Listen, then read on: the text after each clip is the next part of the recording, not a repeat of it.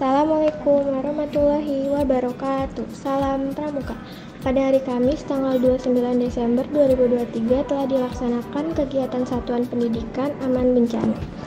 Berlokasi di SDN Bulak 1 Kota Bogor dan dibuka oleh Kawali selaku Sekretaris Kuarcap Kota Bogor.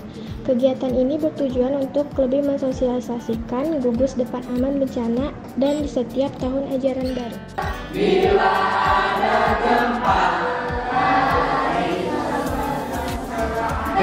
até